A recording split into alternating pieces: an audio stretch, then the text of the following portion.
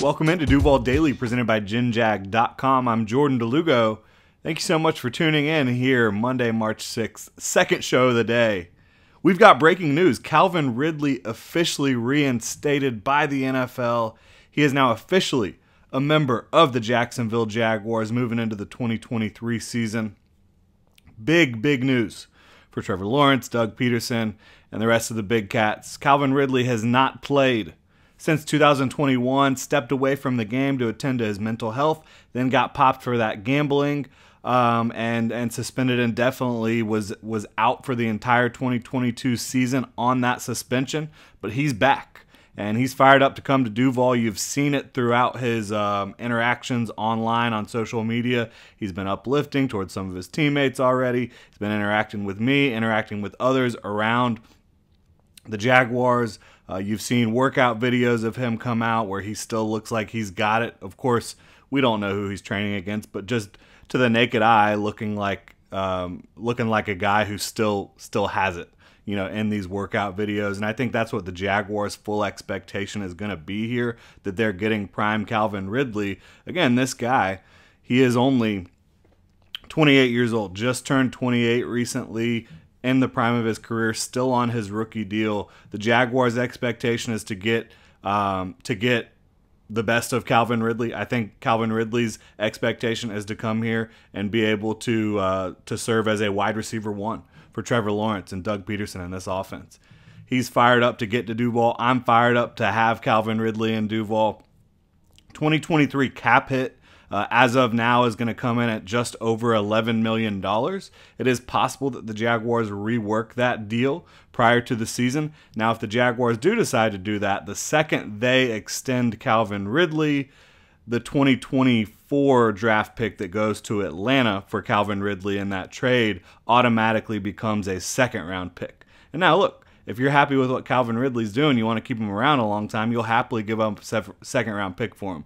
So, in my opinion, I wouldn't expect them to be uh, hasty to to go ahead and extend him, to go ahead and give him a new contract. Um, I think that they'll probably try to see how he's looking, how he comes in here, how he attacks this offseason before doing anything of that nature.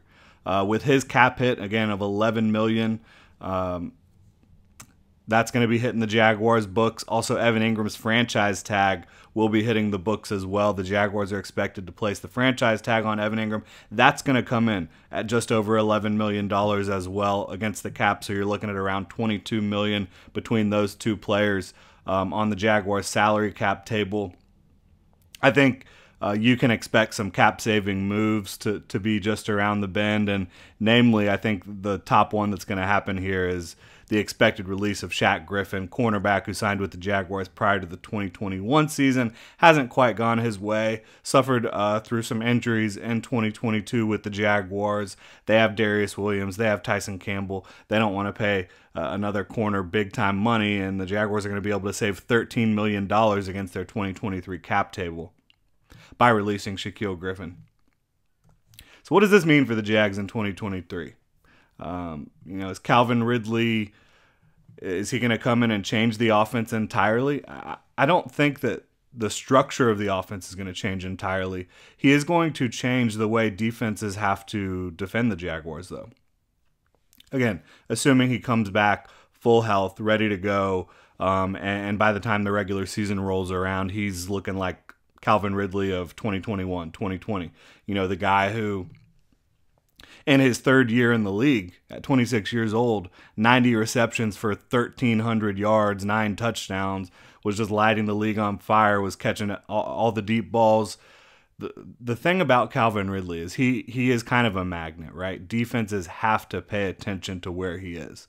So his mere presence alone, even when you're not getting him the football, it's going to make it easier for the rest of the offense to operate at a high level because defenses are going to have to give Calvin Ridley attention.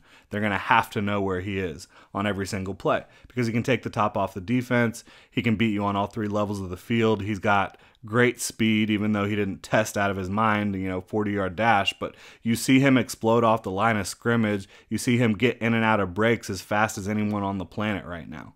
And so, uh, all that is going to be huge. And then you just talk about um, his hands. It's going to be another reliable set of hands for Trevor Lawrence to throw the football to. Going to be a guy to take attention away from Christian Kirk, Zay Jones, whoever else the Jaguars add to their wide receiver room, Evan Engram at tight end. So I think it's a it's a it's a huge development for the Jaguars. And now you go into this offseason um, wide receiver, not at the top of the list of needs, right? Uh, maybe you want to add a possession receiver, a bigger bodied receiver at some point when you look at your top three guys. Zay Jones has some size to him, but you, do you consider him a possession receiver? I can't say that after after the amount of balls he let hit the ground in 2022 for the Jaguars. I would see, say, you know, Zay you can use in a lot of different ways. Do I want to throw him the ball consistently on third down when you got to have a big play? I wouldn't say that. I would say you could probably upgrade in that regard. And Marvin Jones was that guy for the Jaguars in 2022. He could potentially return, but at his age, could he go find a bigger role elsewhere? Potentially. We'll see how it all plays out. Uh, but wide receiver not at the top of the list of needs now for the Jaguars for the first time in a long time. This has been a team that's been desperate, a franchise that's been desperate for wide receiver talent since the departure of Jimmy Smith. It now appears that they have that. Under Doug Pederson and Trevor Lawrence, you've got Christian Kirk, Calvin Ridley, Zay Jones, Evan Engram at tight end. You've got Travis Etienne in the backfield. There is skill all over the field for the Jaguars offense.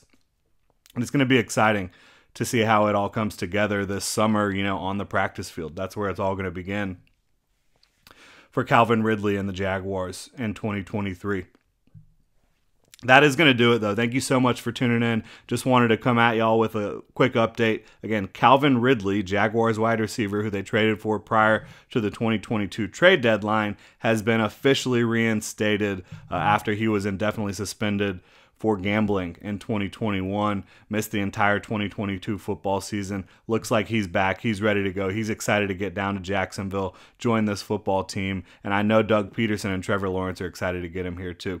So that's going to do it for the show. Thank you so much for tuning in. Make sure to hit me up on Twitter at Jordan DeLugo. Hit that like and subscribe button here on YouTube. Helps the channel a ton. If you're on your podcast platform of choice, you can also hit the subscribe button and give us a, a nice review. Really appreciate y'all's support, Duval. Have a good one.